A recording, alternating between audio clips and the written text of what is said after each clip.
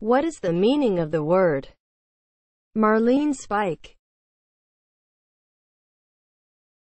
As a noun, a pointed iron hand tool that is used to separate strands of a rope or cable, as in splicing.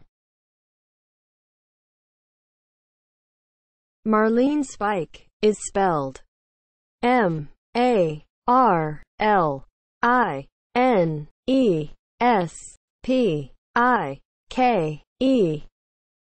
Marlinespike